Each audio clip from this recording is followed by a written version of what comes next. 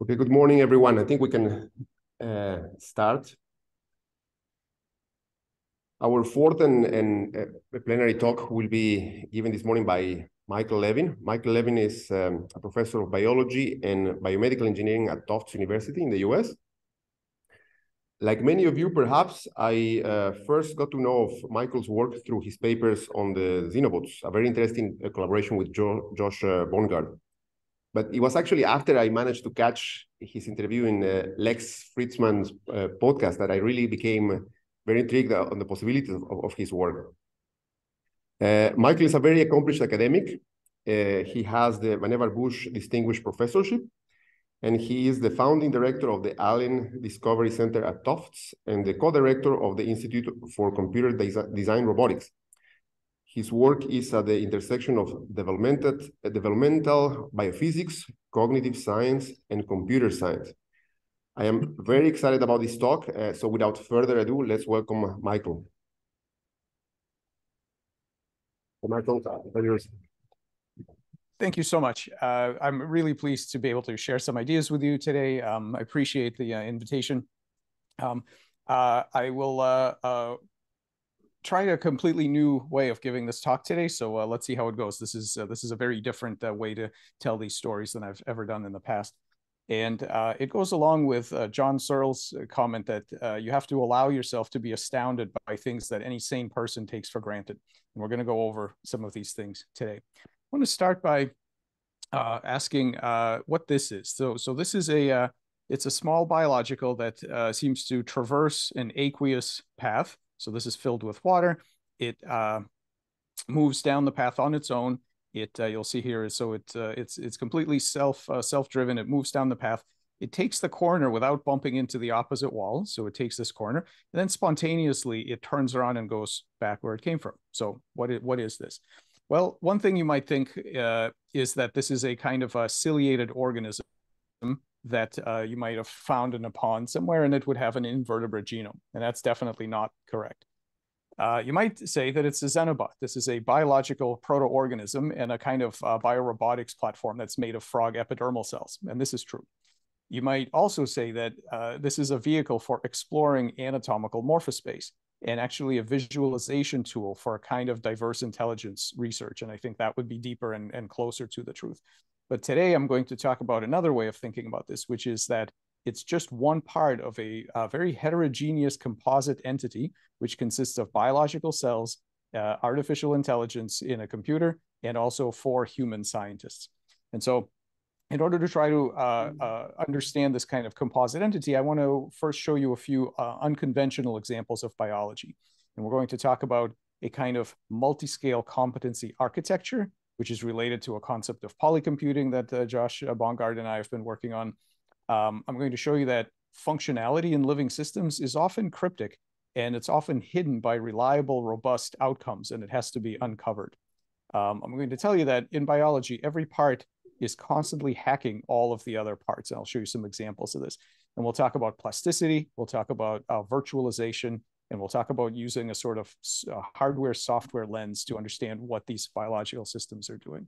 The first thing I want to point out is that um, while we're very comfortable detecting intelligence of medium-sized objects uh, moving at medium speeds in three-dimensional space, such as birds, primates, and so on, uh, biological intelligence actually exists in many diverse spaces that are very hard for us to recognize. So for example, living systems routinely solve problems in navigating gene expression spaces, in navigating the state of uh, physiological, um, the space of physiological states, and also the space of possible uh, anatomical configurations or anatomical morphospace. And there are some, some remarkable examples of which I'll only have time to show you a few of, of uh, problem solving in, in all of these spaces. One of the things that we want to talk about is how organisms hack each other or control each other's behavior. So you've probably all heard of this zombie ant fungus, which uh, infects these ants and causes them to do a certain behavior, which is to crawl up on these leaves and freeze and later be eaten. There's another uh, parasite which has this kind of quite complex um, life cycle where it spends part of its time uh, in in certain animals, part of its time in other animals that eat uh, the, the, the former animals, and so on. And one of the things that this uh, parasite does in order to uh, make sure that the host gets eaten by uh, by the next uh, by the next um, by the next one is that it reduces its risk aversion. So if it finds itself uh, in a uh, in a rodent, for example, uh, these rodents will lose fear of cats and they will come out in the open. They'll get eaten by the cat, and the parasite um, goes there. So what happens in humans uh, who spend time hanging out with cats when they get infected is that it makes you more entrepreneurial and it also makes you drive your motorcycle too fast for conditions. Basically, what it does is it uh, it lowers risk aversion, and um, it's been found that uh, that that that people who uh, who who uh, have uh, crashes, for example, motorcycle crashes, also uh, various captains of industry and things like this, tend to have high rates of being infected by this parasite. It, it literally hacks high level um, behaviors. And what's interesting is that uh, in order to understand this creature, it is not enough to just study the creature itself. You really have to understand the whole cycle. You have to understand what else it's doing, what is um, what is affecting uh, the creature's behavior, and it might be an entirely different living organism, and so on. And so, so this this this theme that that it's not enough to just look at the organism to understand what it's doing, either here or here. You have to understand uh, all of the aspects of its environment, some of which are agential organisms themselves. Um, and not only do creatures hack each other's policies for navigating three-dimensional space of, of conventional behavior, but they also do it in anatomical and physiological spaces. So here, for example, and this is not Photoshop, this is real. Um, uh, there's this uh, there's this insect called uh, Goniurellia tridens, and what it has is uh, it has an image of ants on its wings. And when threatened, it flaps its wings in a particular pattern that looks to predators as uh, ants scurrying around, and, and then nobody wants to mess with these ants. And so it uh, it it uses them to scare off uh, scare off predators. Um, now this is this is fairly remarkable. Uh, these this this this creature is is running a kind of um, stripped down morphogenetic program, a, a, a sort of uh, uh, two two dimensional uh, low low resolution morphogenetic program of of these ant shapes and and it's pretty amazing. The first time I saw this, I was I was just uh, floored until I, I realized that yes, this is amazing, but of course, not more so than the actual fly anatomy. The fact that these cells, yes, these cells can make something that looks like this, but even more impressively, they actually make something that's that looks like this. This is a much more the, the actual host is a much more complex uh, creature but this is a kind of this is a kind of virtualization. These cells are able to make various different shapes.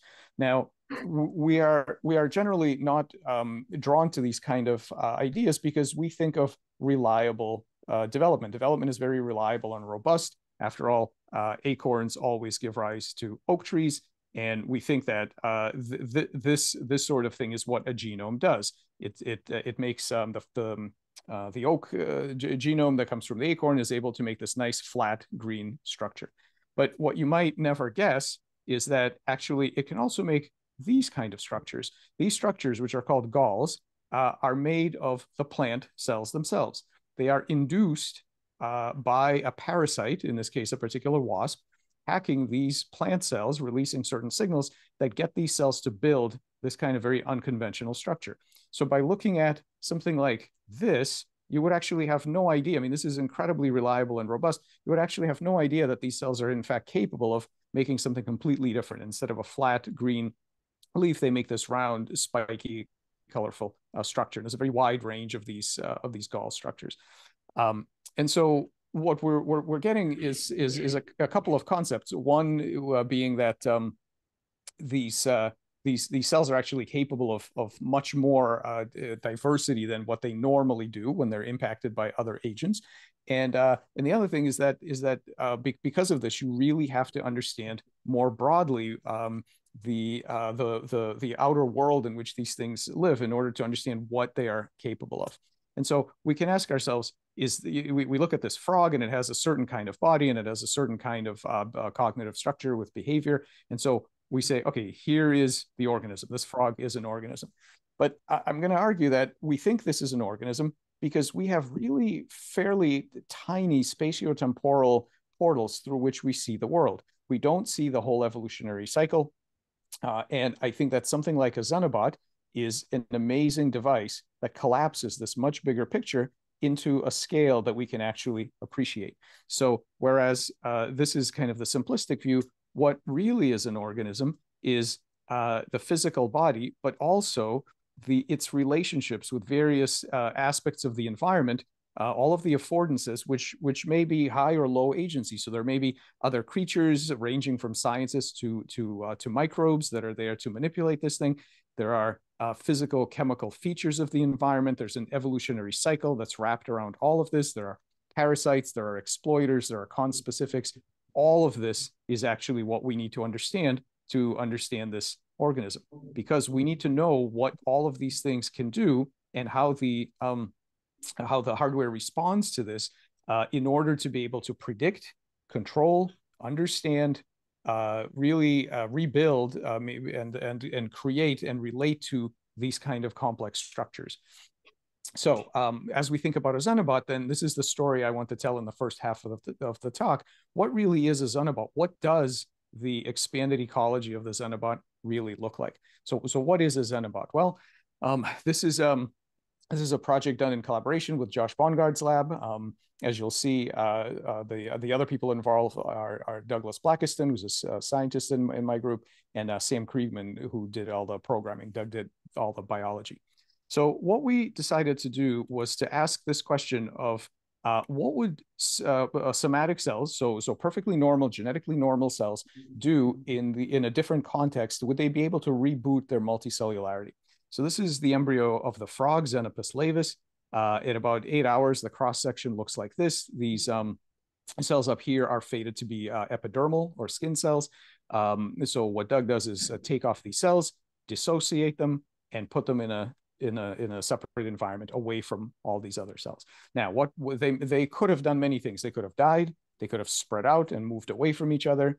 Uh, they could have made a two-dimensional monolayer like cell culture. Instead, this is what they do.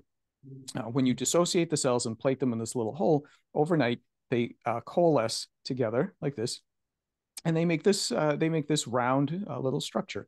And uh, what this what the structure does is it begins to swim because it has little hairs. The skin, uh, tadpole skin, has little hairs called cilia on it. The hairs rotate, and the normal function is to move the mucus down the body of the frog to keep the pathogens and everything else uh, sort of fl- flowing away and, and preventing it from grabbing hold.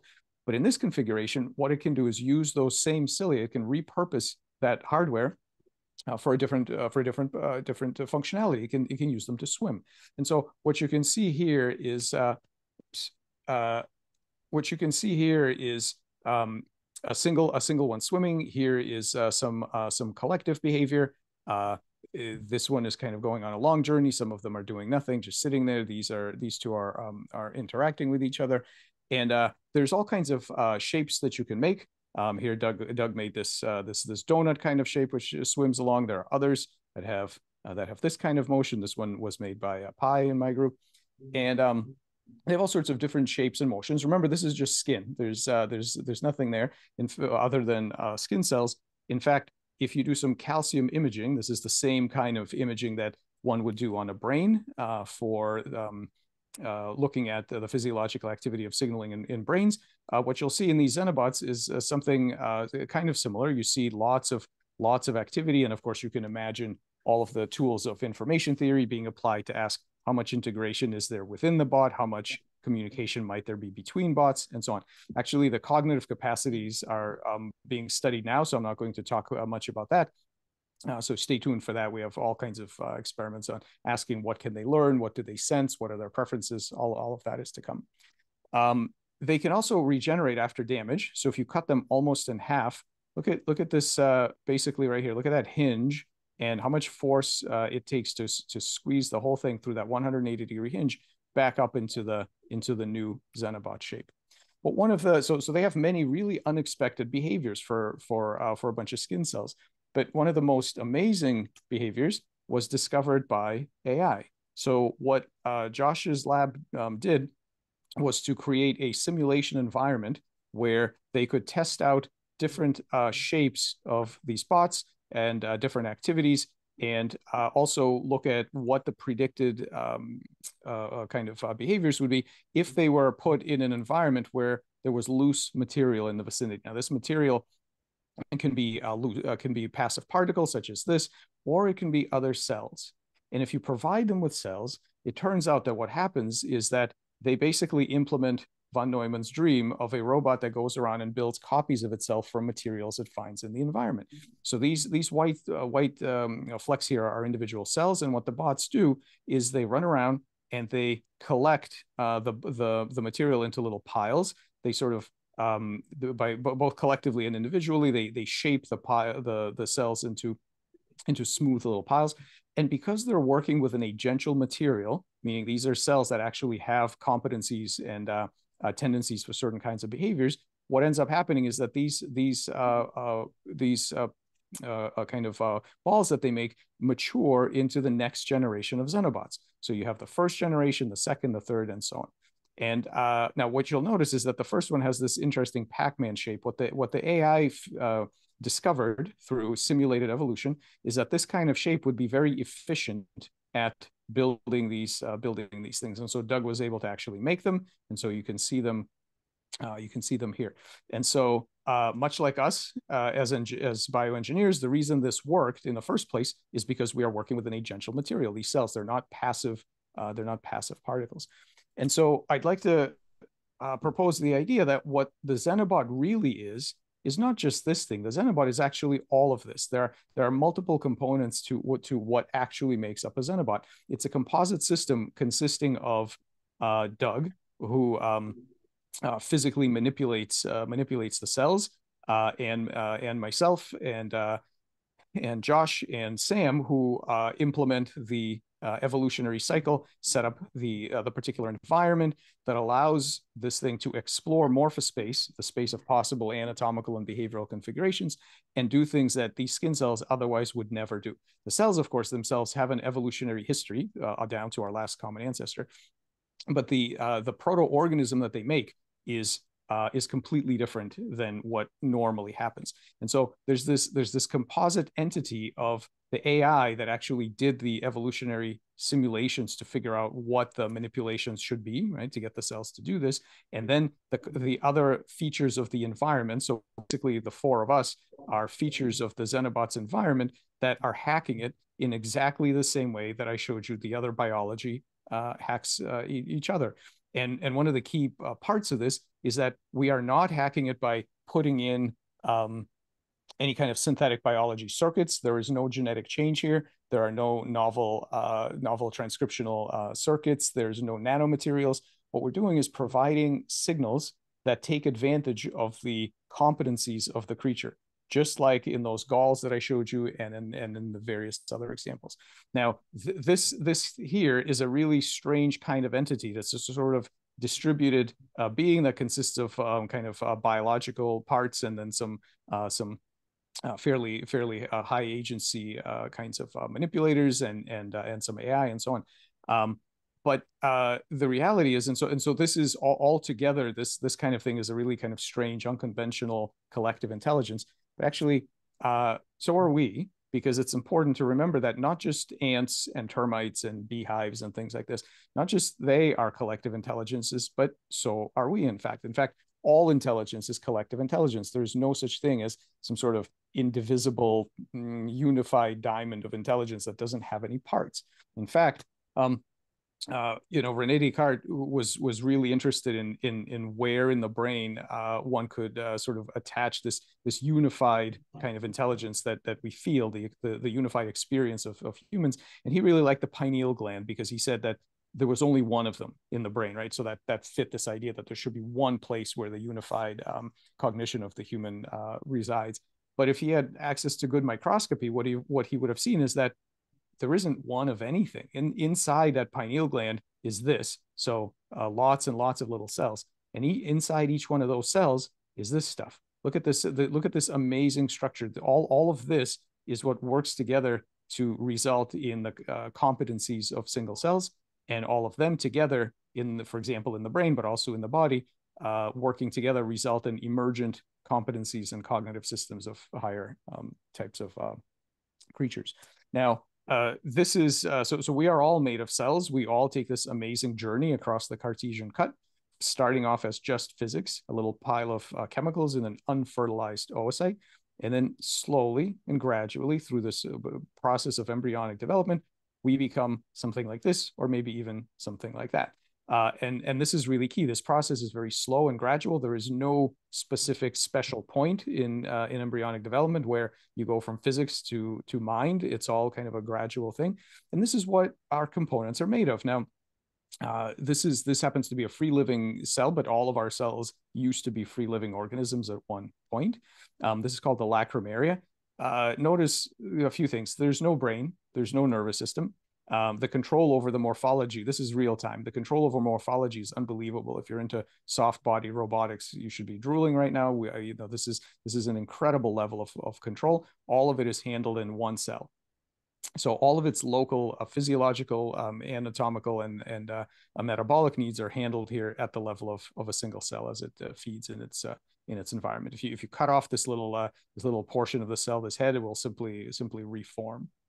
Um, and so what we have in biology is this idea that we are not just structurally nested, that is made of organs, tissues, cells, and molecular networks, but actually each of these layers is uh, is is competent to solve various problems in its own space. So this is a multi-scale competency architecture.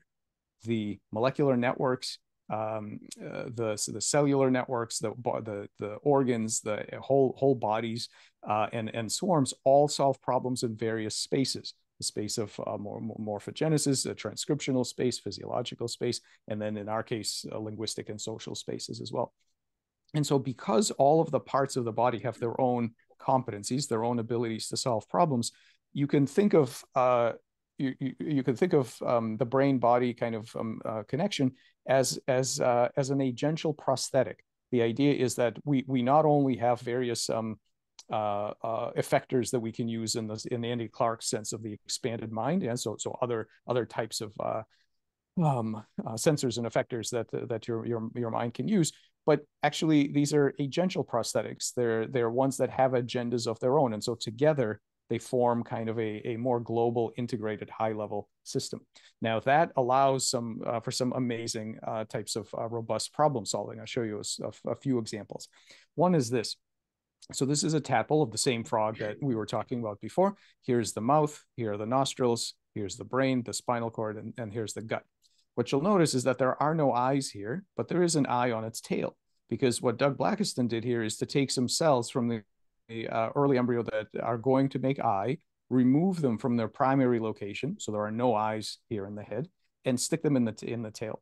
Not only do they uh, form a perfectly good eye, uh, even though they're in a weird location next to a bunch of muscle instead of uh, being next to the brain where they belong, they put out one optic nerve. That optic nerve comes out and its synapses here. You can see where it ends. Its synapses on the spinal cord does not go all the way up to the brain.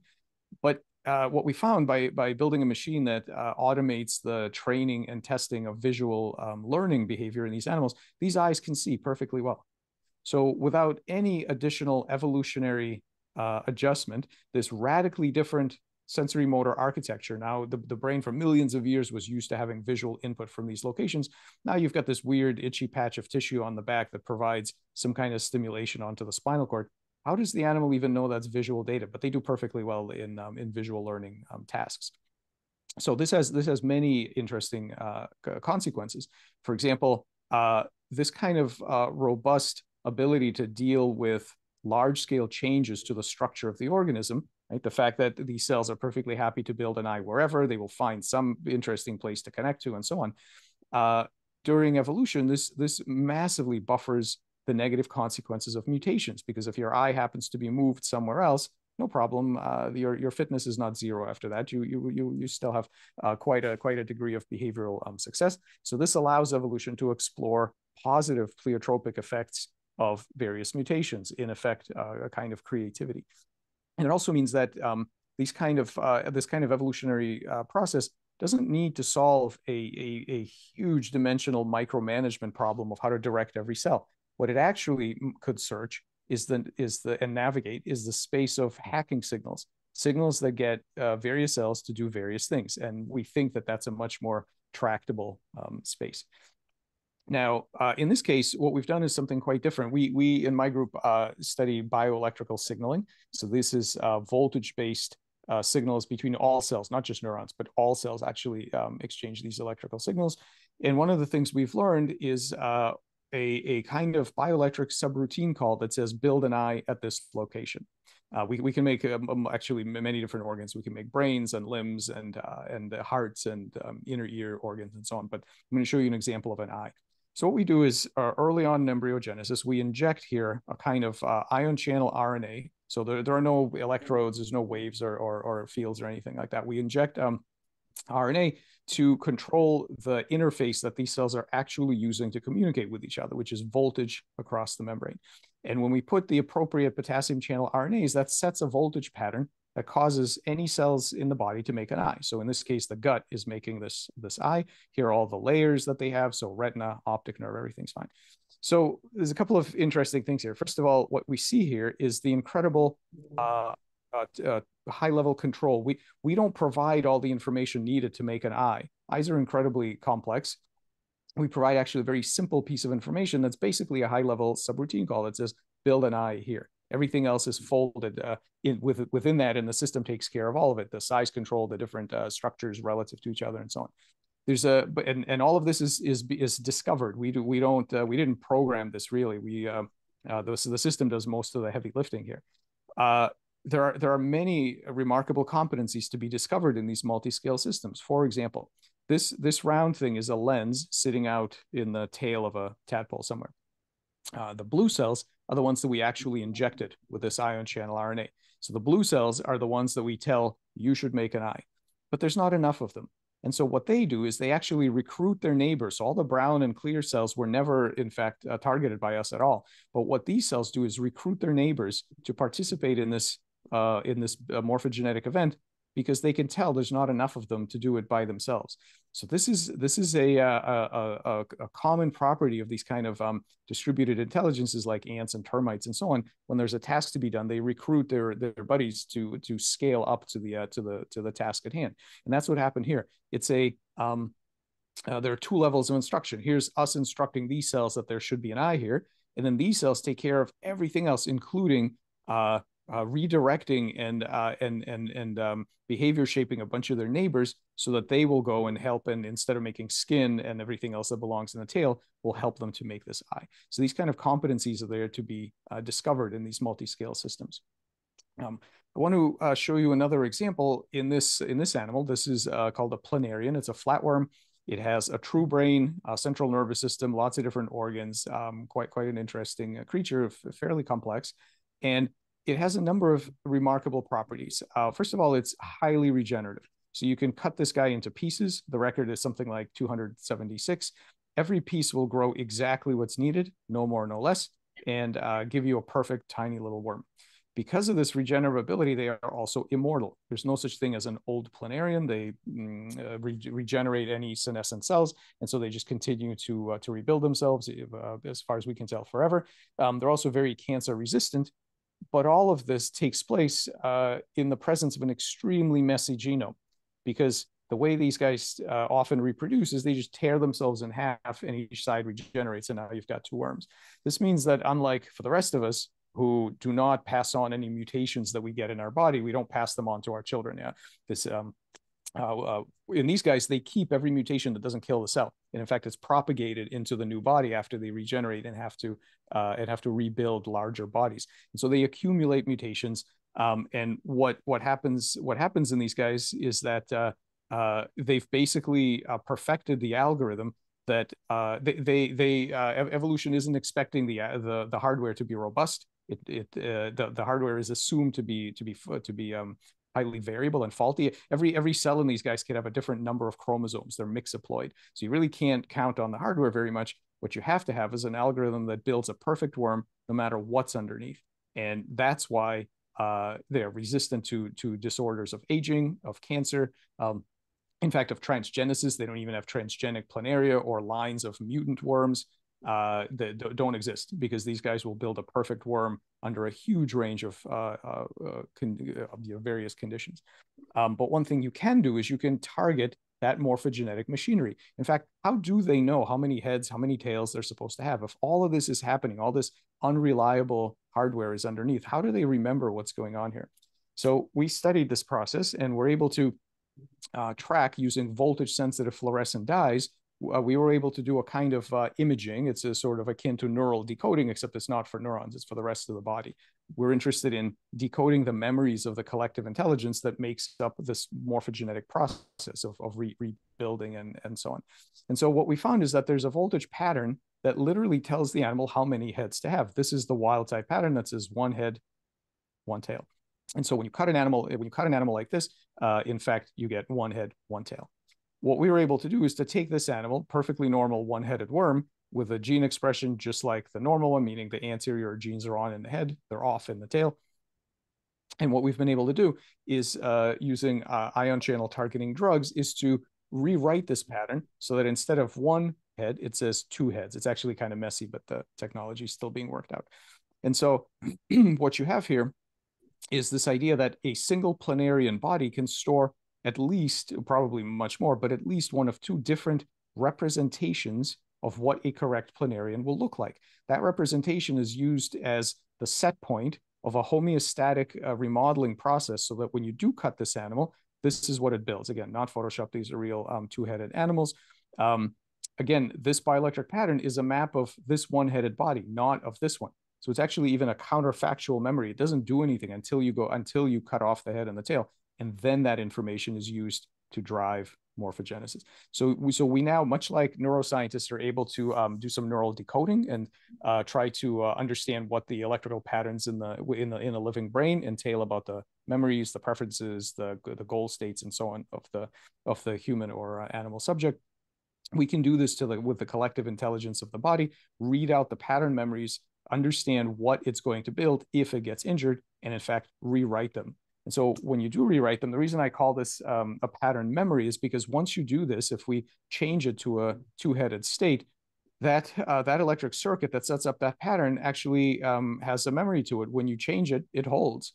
And so these two-headed animals, if you keep cutting them, keep cutting off the heads, they will continue to rebuild as two-headed forever. Uh, here's what uh, here's here's what they look like. These two-headed animals you can see. So this has all the properties of of memory. It's long-term stable. It's rewritable. It has conditional recall. I just showed you that, and it has two uh, discrete possible um, behaviors. Now notice that uh, in planaria there are no uh, mutant lines.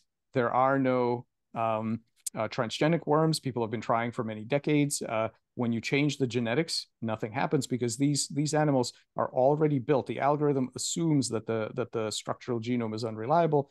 But what you can do is you can produce permanent lines of aberrant two-headed worms. So this is a permanent line, but it's not genetic. It's done by rewriting at the software level. Okay.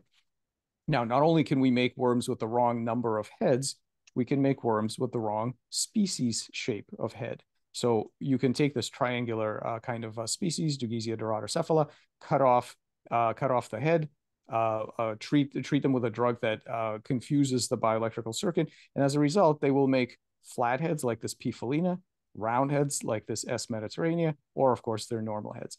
Um, not only the shape of the head, but actually the shape of the brain and the distribution of stem cells becomes just like these other species, about 100 to 150 million years of evolutionary distance. So what you see is that the exact same hardware can visit attractors in this anatomical morphospace that normally belongs to other species. Normally, these other this this other genetically specified hardware is what lives there. But you can you can you can uh, prompt these the, this the, this um group of cells to visit them as well if the appropriate information is there in the uh, physiological control circuits. So head shape, head number. Um, you can go well beyond that and uh, uh, actually we can make we can make planaria with shapes that uh, don't look like flatworms at all. You can explore really diverse regions of this latent morphospace. So you can make these spiky worms, you can make this uh, kind of uh, cylindrical thing, and, and you can make these, these hybrid forms. So again, the idea is that you can get cells to visit really, uh, really far regions of that, of that anatomical morphospace given the right set of signals. Um, uh, and and by the way, the DNA here in all of these examples, there's there's nothing uh, altered about the hardware. Uh, the DNA is exactly the same. We haven't changed it. Uh, similar to here, the, the this uh, the DNA in these guys is is exactly the same as in the rest of the leaf. Um, if, if anybody, I mean, the, the next the slide is a little a little gory. Um, it's a it's a surgery, a picture of a surgery. If you're squeamish, you might want to uh, not look at the at the next slide. Um, I want to talk about this idea of of of of of hacking and and how we and how other creatures manipulate each other as part of this relationship. And so this is uh, this is an example of a surgery where you can see, you know, um, people talk about all the time whether whether living things are machines or not. I mean, there are a number of approaches. This is a very machine-like approach. This is something here. Here's what it ends up um, what it ends up being in the surgery there's there's an integration of of living material and and a very kind of low agency passive material all it does is hold its hold its shape. But um, this is of course not the only uh, game in town as far as manipulating uh, living living matter because after we do this uh, we rely on the body to quote unquote heal. All of the things that happen after this are things that we really don't have much control over. In fact in in molecular medicine really the only successful uh, interventions, permanent interventions, are things that work against the low agency invaders uh, of the body, such as microbes, cancer, um, things like that. So antibiotics, um, um, uh, kind of uh, chemotherapy, those things work well. But actually, uh, in in biomedicine, we have very few things that treat the body itself in a permanent way, being able to fix it, not not just target symptoms, but actually fix it in a permanent way. There are, there are very few things that that actually do that, and that's because we are still groping for ways to interact with truly agential materials, which living bodies are. So, so we've been engineering with passive materials for uh, thousands of years. And now we're coming into some active materials and even active matter and some computational materials. But uh, bodies are all the way to the right of this kind of uh, continuum of, uh, I, I call it an axis of persuadability as far as different types of technologies that you need to optimally relate to these different different systems. Even molecular networks have six different kinds of learning that um, that they can do, and so uh, you know all all up and down this this kind of uh, uh, uh scale of of different uh, different levels of sophistication by uh, by by Wiener et al. Um, we start to find different ways to relate to these systems to try to change their their function. Uh, individual cells here, these are um, these. This is uh, the, these are these are the individual cells of which xenobots are made. So you can see here this little, uh, you know, we call it the little little uh, tiny horse here. Uh, this is these are all of these are just just loose skin cells, and you can see they they move as a as a collective. There's all kinds of interesting behaviors. The the, the lightning flash, by the way, is is calcium um, that you're going to see this calcium signaling when it when it connects. So cells have individual behaviors. They have collective behaviors on a scale much smaller than even the xenobots. At a larger scale, again, here's our planarian. Um, one of the things that uh, you don't see in this planarian is the pharynx. The pharynx is this muscular tube that it uses to pick up food, and the pharynx is normally not seen. It's sitting uh, quietly, um, uh, passively inside the animal. But much like with the Xenobot, where we released the skin cells from the uh, instructive influence of the other cells, when you remove the pharynx from the rest of the body, um, here is what happens. These are these are individual pharynxes they're actually very active. They have a life of their own. This this this one is going to try to eat. This is liver. This is going to try to eat a piece of liver. Of course, it's just a tube, so so it comes so the liver comes out the other end. So all it all it ends up doing is burrowing uh, burrowing through. But they have their own independent life, and they and they live for quite quite some time, very differently than what they do inside. And and and Wilhelm Roux called it the struggle of the parts uh, back in the early days of developmental biology. The idea that uh, because we are multi-scale competent uh, systems, all the parts have to be controlling each other all the time in order for this uh, for the for our emergent uh, selves to appear. And so when we think about um, when we, we go going back to this to this idea of xenobots when we think about what, what what did evolution actually learn in producing the xenopus laevis frog? So here's the genome. Most of the time what it does is this. It makes uh, these embryos with a standard developmental sequence. They end up being tadpoles with a standard set of behaviors. And if if if one just looks at the natural course of things, this is what you think evolution has learned. It has evolved a frog, which is a solution to a, a kind of a froggy environment as a as a problem, and it's it's highly highly adaptive, very fit, uh, very nice. But it turns out that um, in a different scenario, these exact same cells with this exact same genome can make a xenobot. These xenobots have different shapes. They have different developmental sequence. So this is, uh, uh, you know, about a month. Uh, this is a xenobot about a month old. It's turned from this into something like this um, and then and and they have a completely different set of uh, set of behaviors. So this this this provides us with an interesting challenge. Um, the uh, it, it, typically when when you ask uh, for for any given animal, when you ask where does its uh, shape and behavior come from? The answer is well, evolutionary selection. Yeah, for for eons, it's been it's been sculpted by uh, by by evolutionary forces and, and selection to be to have certain properties. But there's never been any xenobots. There's never been any selection to be a good xenobot. All of this is completely emergent. So the cells, of course, uh, evolved in the frog lineage, but the the evolutionary pressures on them were, were completely different. So everything, including this kinematic self-replication, this idea of the ability to make copies of themselves when all of the normal frog uh, kind of uh, reproductive uh, machinery is removed. This is just skin. They don't have the ability to reproduce the normal way. They come up with a different way that's, to our knowledge, never existed in evolution before. So uh, what's happening here is a kind of um, really engineering by subtraction. What we did was we removed the other cells that normally basically bully these skin cells into having a boring two-dimensional life on the surface of the animal. In the absence of those signals, you get to see what the cells really want to do, which is this is the default behavior of those cells when they're not being hacked and influenced by their neighbors. This is what they're actually going to do. And uh, and it's and, and all of these competencies are incredibly non-obvious, and they allow us to have these model systems with which we can start to develop a science of predicting the the goals, the behavioral repertoire, and so on of complex multi-scale systems uh, from knowing the properties of the parts, which we still really don't know very well. So I'm going to um, just to just to kind of summarize what we have here, and this is this is a sort of obvious homage to uh, to Doug Hofstadter's um, classic book. The idea that what you have in the Xenopus uh, genome uh, is the ability to, uh, under various circumstances, to produce different kinds of uh, creatures. And in fact, we don't know what else what else it's capable of doing. This hardware, I I, I want to float the idea that a biological evolution doesn't just produce solutions to specific problems, but it actually makes problem solving machines. It makes uh, very versatile hardware that can solve problems in multiple spaces and has different uh, so very surprising behavior and, and that and that actually collaboration with AI and with human scientists is what's uh, allowing us to start to catch a glimpse of what else is possible. So uh, the main the main points that uh, I try to transmit today are that uh, all biological life is a kind of collective intelligence of multi-scale competent agents.